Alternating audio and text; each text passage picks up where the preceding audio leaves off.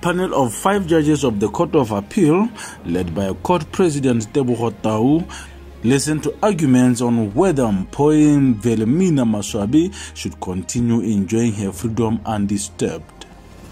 Joseph Akonya led a team representing the DPP, while Unoda Mack led the freedom fighters. The DPP is appealing last year's High Court decision to discharge and acquit the former spy on three criminal charges.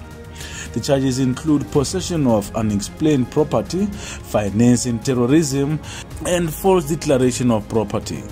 The DPP argued that the lower judge was wrong to acquit Butterfly when they had indicated that their intention was to withdraw some of the charges on condition that they could be reinstated upon completion of investigations at a later stage. They want the court to reverse the decision looking at the fact that while some of the evidence may not be perfect, the truth of the matter is that Butterfly was in control of some properties, some of which belonged to Botswana Housing Corporation and Directorate of Intelligence and Security Services.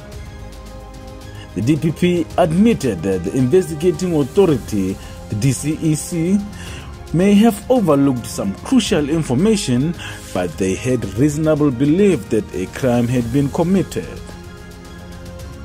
Mack, however, was adamant that the DCEC fabricated the evidence leading to fabricated charges and malicious, frivolous, and vexatious prosecution of Butterfly.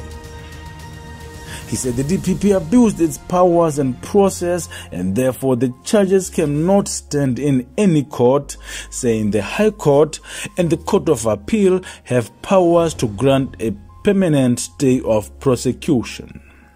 Mack indicated that the DPP failed to provide evidence that Butterfly was the owner of the properties in question, but instead fed the court with title deeds that confirmed the properties belonged to Botswana Housing Corporation among other entities. The DPP insisted that the investigations were incomplete, and that's the main reason why they believe the lower court was wrong to acquit Butterfly in the middle of an investigation, even even before a plea had been taken. Judgment is expected on August 5th. Pamepit Gaborone.